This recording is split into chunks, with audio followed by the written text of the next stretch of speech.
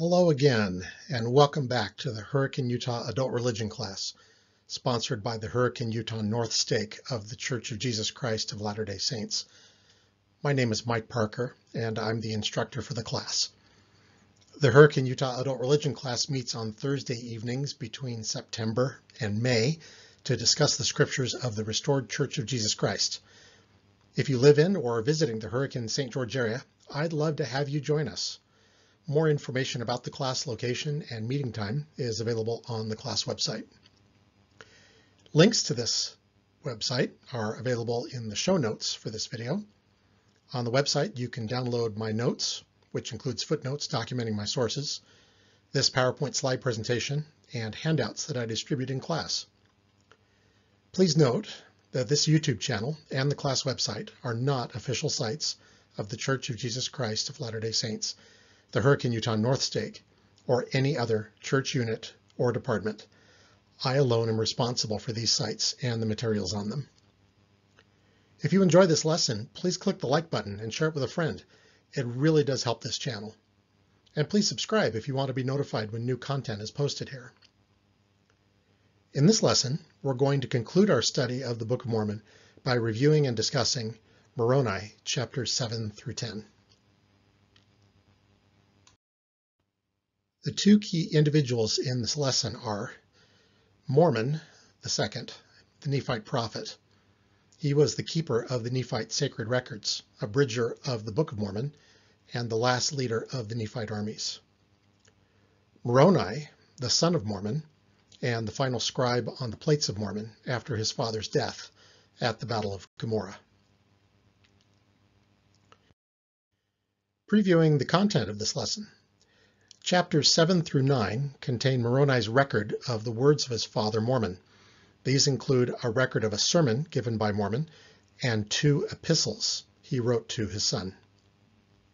Chapter 10 is Moroni's farewell and invitation to come unto Christ. Let's briefly review the chronology leading up to this lesson. The Battle of Cumorah took place 385 years after the signs of the birth of Christ, circa AD 376. Fifteen years passed before Moroni added anything to his father's record. After waiting at least another 21 years, Moroni revealed, I have not yet as perished. And he wrote, a few more things. This would have been at least the 400th year, circa AD 411. Thus, Moroni wandered alone for at least 36 years before burying the record started by his father Mormon. Since the Lamanites put to death every Nephite that will not deny the Christ, Moroni wrote that he wandered whithersoever I can for the safety of mine own life. Because both the land northward and the land southward were controlled by Lamanites, the only direction he could have taken was north leaving behind most of the records his father had buried in the hill Cumorah. He took with him the plates of Mormon, which he intended to complete, and then hide up in the earth. Recapping from previous lessons, Mormon, commander of the Nephite armies, led his people in their last stand against the Lamanites at the hill Cumorah. The Nephites were defeated. All of them were killed, including Mormon, only Moroni remained alive. Moroni chapter 7 is a record of Mormon's sermon to members of Christ's church among the Nephites. In chapter 6, Moroni documented how the Nephites conducted their church meetings. In chapter 7, he gave us an example of the type of preaching and exhorting that they did by quoting a sermon his father, Mormon, delivered in a Nephite synagogue. Mormon's message was to the peaceable followers of Christ who have a hope of entering into the rest of the Lord. Mormon's discussion of good gifts is based on Jesus' teaching in the Sermon at the Temple about good works. Even so, every good tree bringeth forth good fruit, but a corrupt tree bringeth forth evil fruit.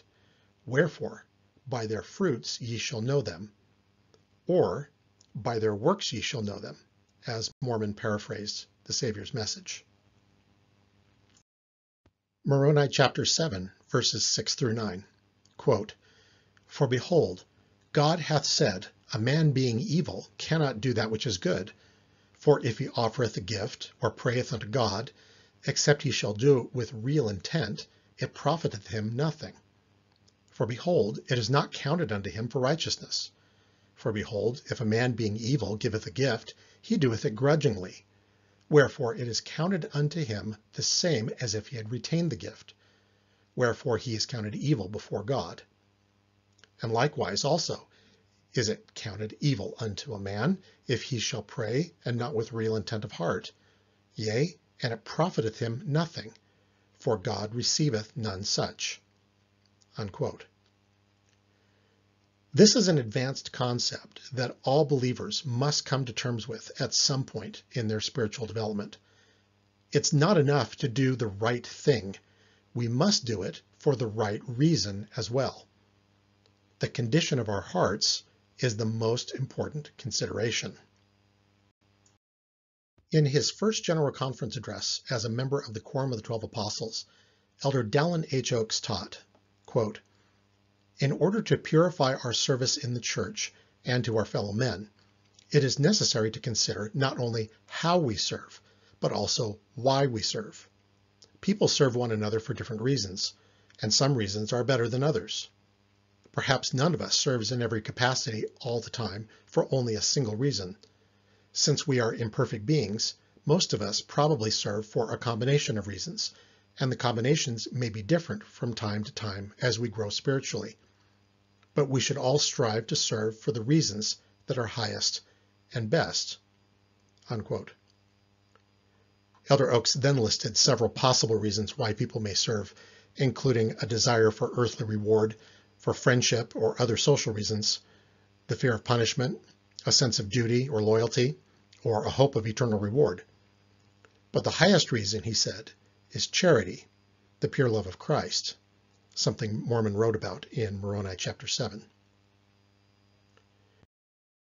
Elder Oaks continued, quote, Even the most extreme acts of service, such as giving all of our goods to feed the poor, profit us nothing unless our service is motivated by the pure love of Christ. If our service is to be the most efficacious, it must be accomplished for the love of God and the love of his children. It is not enough to serve God with all of our might and strength. He who looks into our hearts and knows our minds demands more than this. In order to stand blameless before God at the last day, we must also serve him with all our heart and mind. Service with all of our heart and mind is a high challenge for all of us. Such service must be free of selfish ambition. It must be motivated only by the pure love of Christ. Unquote. Mormon next taught his people about the light of Christ and how it helps us discern between good and evil. All things which are good cometh of God, he explained, and that which is evil cometh of the devil. The devil inviteth and enticeth to sin, and to do that which is evil continually, while God inviteth and enticeth to do good, and to love God, and to serve him.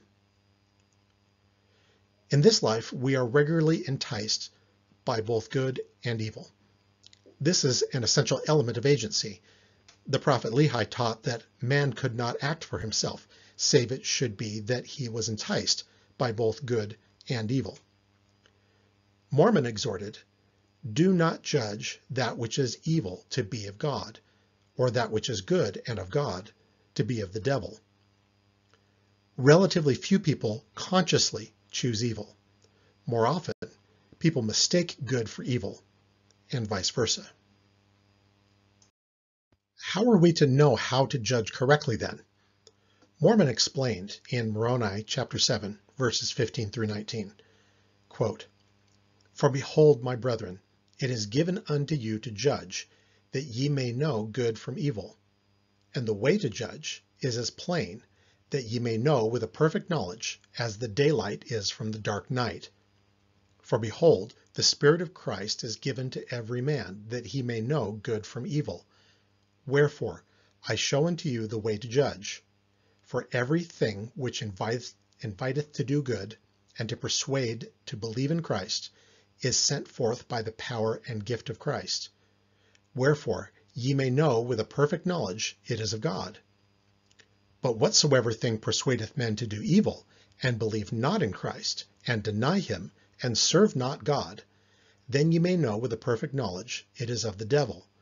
For after this manner doth the devil work. For he persuadeth no man to do good, no, not one, neither do his angels, neither do they who subject themselves unto him. And now, my brethren, seeing that ye know the light by which ye may judge, which light is the light of Christ, see that ye do not judge wrongfully. For with that same judgment with which ye judge, ye shall also be judged. Wherefore I beseech of you, brethren, that ye should search diligently in the light of Christ, that ye may know good from evil. And if ye will lay hold upon every good thing and condemn it not, ye certainly will be a child of Christ. Unquote.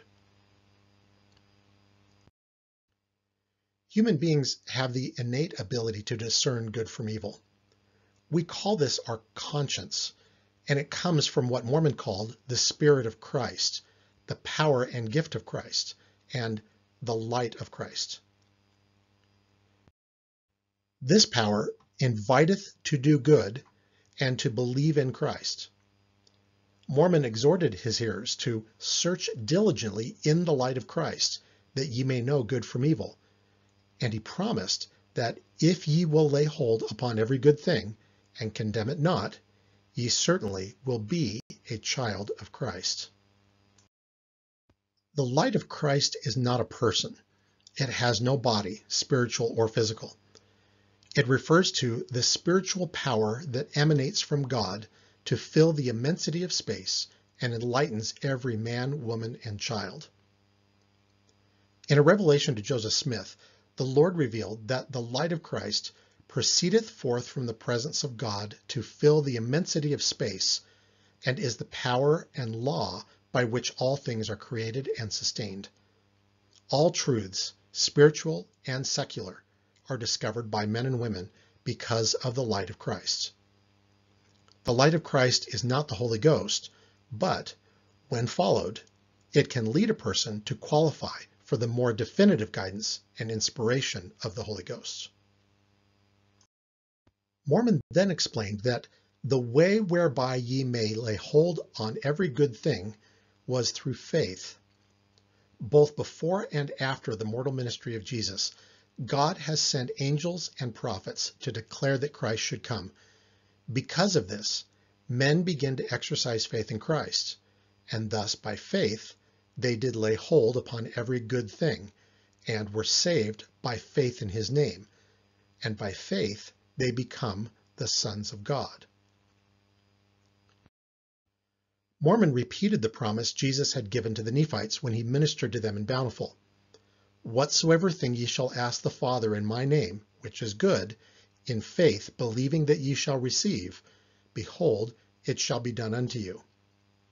He then asked rhetorically, Have miracles ceased because Christ hath ascended into heaven and hath sat down on the right hand of God? Mormon answered no to this question. Just because Christ returned to heaven to dwell with the Father, miracles have not ceased, and angels still minister unto the children of men. At this point in his sermon, Mormon digressed for a moment to teach about the ministry of angels to mankind.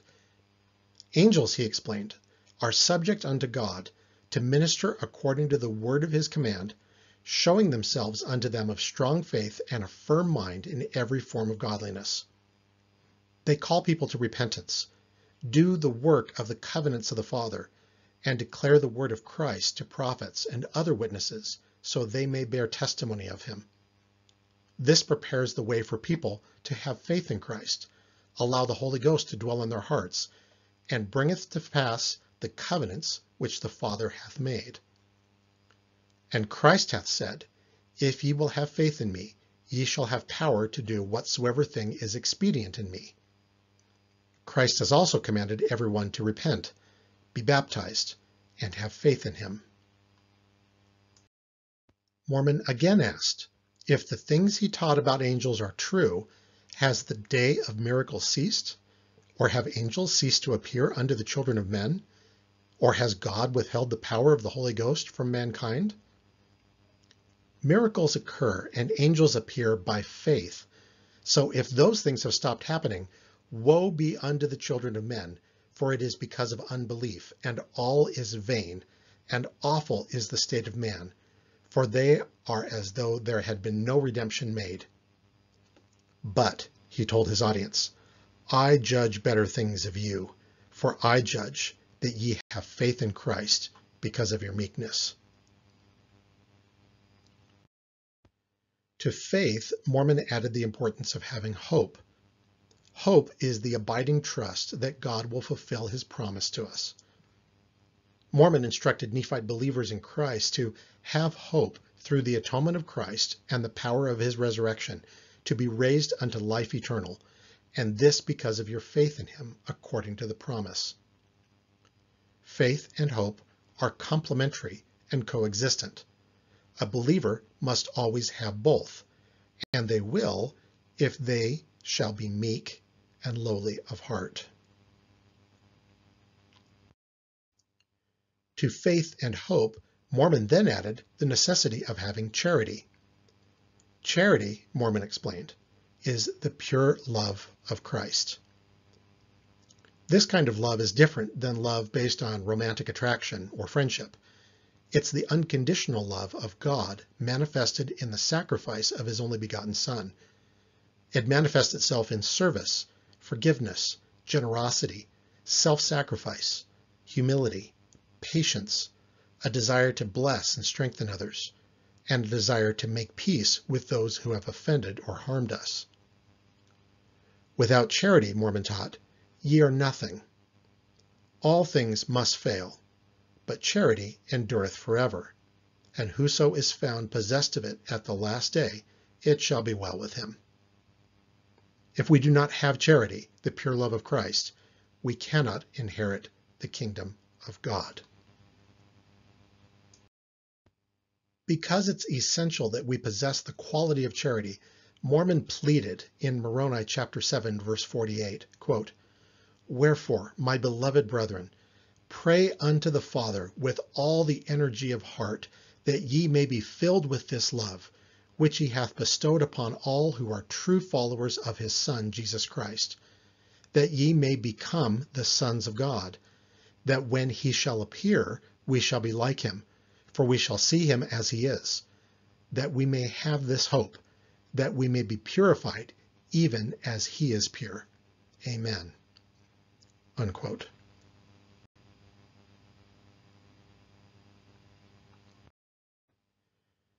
Chapter 8 is an epistle Mormon wrote to Moroni concerning the baptism of little children. Since the date of its publication, critics of the Book of Mormon have claimed that it addresses 19th century theological controversies and therefore cannot be an ancient work. Moroni chapter 8 usually leads the list of supposed anachronistic doctrinal material. These critics fail to consider that just because a religious doctrine or practice was controversial in Joseph Smith's time doesn't mean it couldn't be controversial in any other place and time. Also, many critics of the Book of Mormon, as well as some of its supporters, have inaccurately claimed that the subject of Moroni 8 is infant baptism, but the word infant appears nowhere in the chapter. The controversy Mormon wrote about concerned the baptism of children of any age who were too young to be accountable for their actions. In support of Moroni 8, there is evidence that ancient Americans practiced something like the baptism of infants and little children prior to the arrival of Europeans in the Western Hemisphere. Latter-day Saint scholar Matt Roper has written, quote, When the Spanish arrived in the New World in the mid-16th century, Mesoamericans were practicing several different kinds of water purification rituals that involved young children. The Catholic missionary priest Bernardino de Sahagun reported that the Aztec midwives ritually bathed newborn children, invoking the cleansing power of the goddess Chalchiuhtlicue. Implicit in the practice was the assumption that infants may inherit evil and impurity at birth, as can be seen from the words the midwife spoke during the ceremony. Perhaps he cometh laden with evil. Who knoweth the matter in which he cometh laden with the evil burdens of his mother, of his father? With what blotch, what filth, what evil of the mother, of the father, doth the baby come laden? He is in thy hands. Receive him, cleanse him, wash him, for he is especially entrusted to thee, for he is delivered into thy hands. Remove the blotch, the filth, the evil of his mother, of his father, and possibly he cometh laden with vile. May that with which he cometh laden, the evil, the bad, be washed away, be destroyed. May the filth be washed away. May it be washed away. May it be destroyed in the way that has been assigned. Unquote. In his letter, Mormon informed Moroni that he had become aware of a disputation among the Nephite believers in Christ concerning the baptism of your little children. He called this teaching a gross error, solemn mockery before God, and awful wickedness. For, according to a revelation Christ gave to Mormon, little children are whole, for they are not capable of committing sin. Wherefore the curse of Adam is taken from them in me that it hath no power over them. Jesus taught that each of us must repent and become as a little child, for of such is the kingdom of heaven. King Benjamin taught that it was not possible for children to sin, for the blood of Christ atoneth for their sins.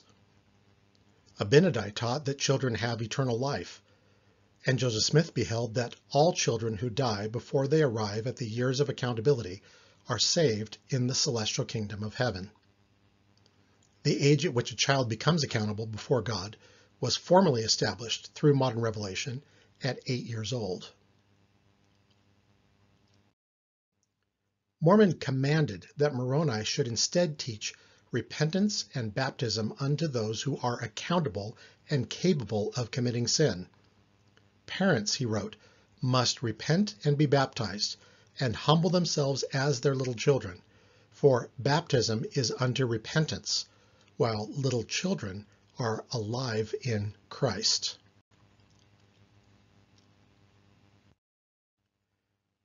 Mormon condemned those who insist that children need baptism to save them from hell. Such people, he wrote, are in the gall of bitterness and in the bonds of iniquity, and on the road to hell themselves. They denieth the mercies of Christ, and setteth at naught the atonement of him and the power of his redemption. Repentance and baptism are unto them that are under condemnation and under the curse of a broken law, and bring meekness and lowliness of heart. And because of meekness and lowliness of heart cometh the visitation of the Holy Ghost, which Comforter filleth with hope and perfect love, which love endureth by diligence unto prayer, until the end shall come, when all the saints shall dwell with God. Mormon closed his epistle by lamenting that the pride of the Nephites was leading to their destruction. He feared that the Spirit hath ceased striving with them, and he asked Moroni to pray for them that they might repent. Chapter 9 contains an epistle of Mormon to Moroni concerning Nephite and Lamanite war crimes. As with the previous two chapters, we do not know exactly when Mormon wrote this letter to his son. Even early in Mormon's lifetime, the Nephites had been in spiritual decline and had refused to repent.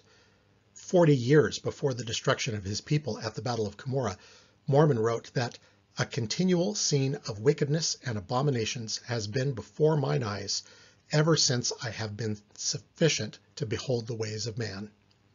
He may have written this letter to Moroni any time between then and the final days of the Nephite civilization. Mormon wrote of the depravity of both the Lamanites and the Nephites. YouTube's algorithm prevents me from discussing their acts in detail, but they involved some of the most heinous crimes imaginable. You can read about them in Moroni chapter 9, verses 7 through 17. Mormon lamented the abominable state of the Nephite people, and how their spiritual decline had happened so rapidly. He expected and even prayed that God would come out in judgment against them. They are without order and without mercy, Mormon wrote, and they are alike brutal, sparing none, neither old nor young, and they delight in everything save that which is good. They are without principle and past feeling, and their wickedness doth exceed that of the Lamanites. Mormon prayed that Moroni would be spared to see the Nephites repent or to see them utterly destroyed. He exhorted his son, quote, Be faithful in Christ, and may not the things which I have written grieve thee, to weigh thee down unto death, but may Christ lift thee up, and may his sufferings and death, and the showing his body unto our fathers, and his mercy and long suffering, and the hope of his glory and of eternal life rest in your mind forever. Unquote.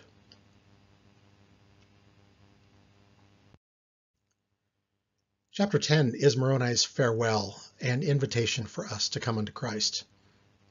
Three times previously, Moroni had attempted to finish his record and seal the plates of Mormon. We have now come to his fourth and final attempt and the end of his writings as the last Nephite keeper of the sacred records. His message in this chapter was specifically directed to my brethren the Lamanites, although he certainly understood that Gentiles would also read the Book of Mormon. Moroni chapter 10 verses 3 through 5 is arguably the most famous passage in the Book of Mormon. In it, Moroni described the method by which the modern reader can gain a witness of the truth of the book, as well as the truth of all things. Quote, Behold, I would exhort you that when ye shall read these things, if it be wisdom in God that ye should read them, that ye would remember how merciful the Lord hath been unto the children of men from the creation of Adam even down unto the time that ye shall receive these things, and ponder it in your hearts. And when ye shall receive these things, I would exhort you that ye would ask God, the eternal Father, in the name of Christ, if these things are not true. And if ye shall ask with a sincere heart, with real intent, having faith in Christ, he will manifest the truth of it unto you by the power of the Holy Ghost. And by the power of the Holy Ghost ye may know the truth of all things. Unquote. The first step requires us to consider deeply the Lord's eternal mercy and faithfulness. After we have sufficiently pondered on these things, a process that could take days, months, or even years, depending on the individual, we are directed to go to God in prayer and ask for a confirmation of the truth of the Book of Mormon. If we are sincere, have true intentions, and have faith in Christ, the Lord will reveal the truth of the Book of Mormon, or any other thing, to us. We may even know if God exists by the power of the Holy Ghost. When he was president of the Quorum of the Twelve Apostles, Ezra Taft Benson explained this important truth. Quote, the only problem the objector has to resolve for himself is whether the Book of Mormon is true. For if the Book of Mormon is true, then Jesus is the Christ. Joseph Smith was his prophet. The Church of Jesus Christ of Latter-day Saints is true, and it is being led today by a prophet receiving revelation. Unquote. That is why it is so critical that readers of the Book of Mormon follow Moroni's instructions and learn for themselves if the Book of Mormon is the Word of God. If it is the Word of God, not just an interesting book or an inspiring book, but an authentic book of Scripture written by ancient prophets, then our eternal salvation depends on how we respond to and act on its message. We cannot ignore it we cannot dismiss it. We must confront it and, with it, the resulting claim that the Church of Jesus Christ of Latter-day Saints is the kingdom of God on the earth and the only organization having the authority to teach the gospel and administer the Lord's ordinances. Expanding on the message of knowing the truth of all things by the Holy Ghost, Moroni exhorted us to deny not the gifts of God, for they are many, and they come from the same God. He was referring to spiritual gifts, which are manifestations of the Spirit of God unto men to profit them. There are three primary scriptural sources for gifts of the Spirit. 1 Corinthians chapter 12, Moroni chapter 10, and Doctrine and Covenants section 46. Moroni's list of spiritual gifts contains one gift that is not mentioned in the other two texts, the beholding of angels and ministering spirits.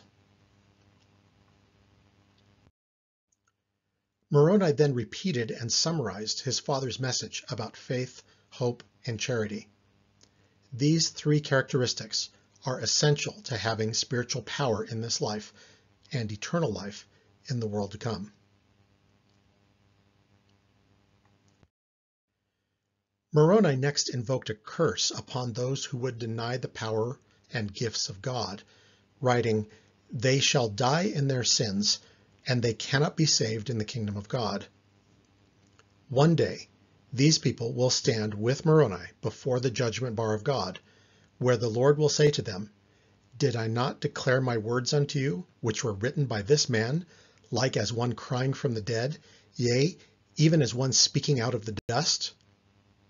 Then they will know that which I, Moroni, have written is true.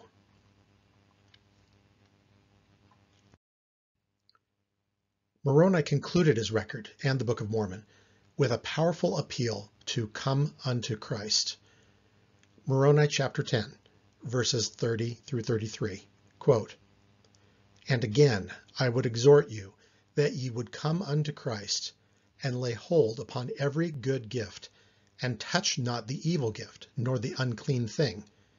And awake, and arise from the dust, O Jerusalem, Yea, and put on thy beautiful garments, O daughter of Zion, and strengthen thy stakes, and enlarge thy borders for ever, that thou mayest no more be confounded, that the covenants of the eternal Father, which he hath made unto thee, O house of Israel, may be fulfilled.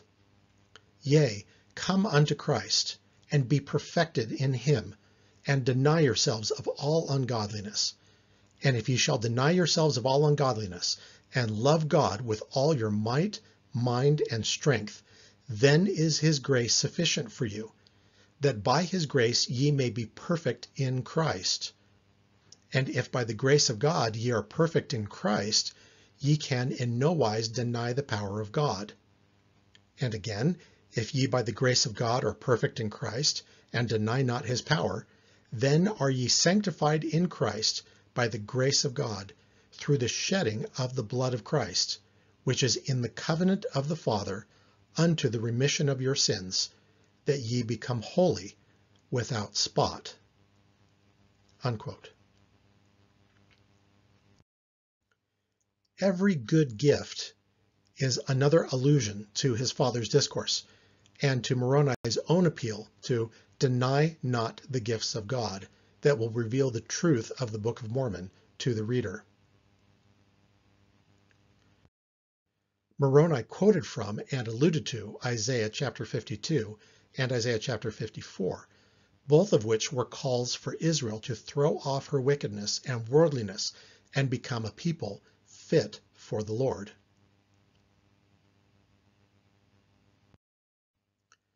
Moroni called us to come unto Christ and be perfected in him by denying ourselves of ungodliness and loving God with all our might, mind, and strength. By doing so, we become perfect in Christ and are sanctified. We become holy without spot, that is to say, stain. This is a fitting conclusion to a book that has testified of Christ on nearly every page. BYU professor Stephen E. Robinson wrote, quote, when we become one with Jesus Christ, spiritually we form a partnership with a joint account, and his assets and our liabilities flow into each other. Since he has more assets than we have liabilities, he has an infinite ocean of assets. the new account has a positive balance as soon as it is formed, and the partnership is justified, even though its junior partners, you and me, could not make it on their own. This is what the Apostle Paul refers to as being in Christ, and what Moroni calls being perfect in Christ. Taken together, Christ and I make up a new creature. The old creature, the imperfect me, ceases to exist, and a glorious new creature, a perfect partnership, takes its place. Taken together as a single entity, the two of us, Christ and I, are perfect. I do not mean, this is absolutely crucial, that we can become perfect later on. I mean that from the moment the partnership is formed in good faith, from the moment we have sincere faith in Christ, sincerely repent of our sins, and receive baptism and the gift of the Holy Ghost, from this moment the partnership is celestial. The merits of the senior partner make it so. True, this is not individual perfection, which will indeed come later, much later. Rather, it is perfection in Christ, through which we receive the benefits of our partner's merits. Nevertheless, from this moment, the kingdom is ours, provided that we maintain the partnership by abiding in the gospel covenant. Unquote.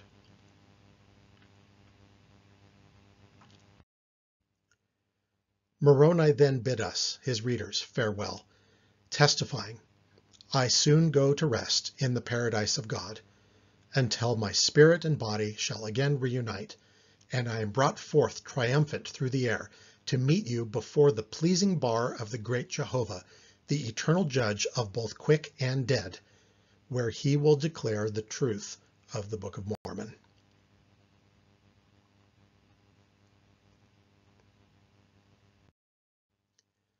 That concludes this lesson and our course on the Book of Mormon. The next course in this series will be on the Doctrine and Covenants. It begins the first Thursday in September. I'd like to give a special thanks to my YouTube viewers for joining me in this exploration of the Keystone Scripture of the Restoration. I hope this series was helpful to you in your personal, family, or group study. The Book of Mormon is the Word of God, given to ancient prophets. The prophet Joseph Smith translated it by the power of God, and it contains the fullness of the gospel of Jesus Christ. The more I have studied it, the more convinced I've become of the reality and truth of that gospel, and the more I want to live in harmony with its principles, that I may not be ashamed when I stand before the pleasing bar of God at the last day. All my best to you. See you in September.